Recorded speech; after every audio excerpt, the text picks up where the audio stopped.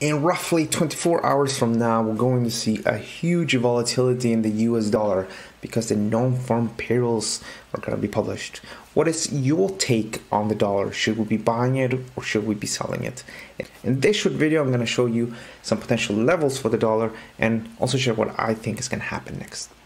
So you're looking here at the euro against the dollar and you're looking at a channel, a channel that has been dominating the price since February of this year.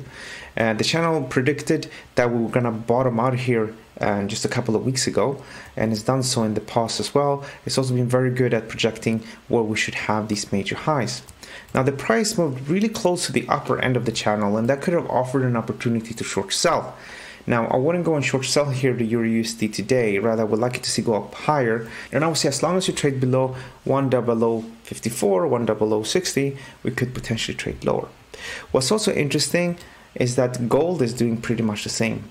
Um, this is gold and its channel, and the price has been guided by this channel here since March 8, and we're actually at the upper end of this channel. And here, one could potentially take a short position today.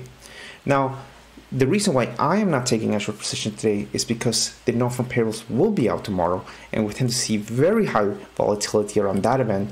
You can potentially spike upwards, spike lower, and then we're back where we started. The only difference is that you will be stopped out. That is why I don't really take positions on big events like the non-farm payrolls. Also, what's going to be interesting for me this time around is how is the market going to react to the data. We know that the US data and the US economy has been strong. That's why they pushed forward with rate hikes before everybody else. Now, we saw some data earlier this week with the ISM numbers that when the data was weak, that the dollar weakened a bit.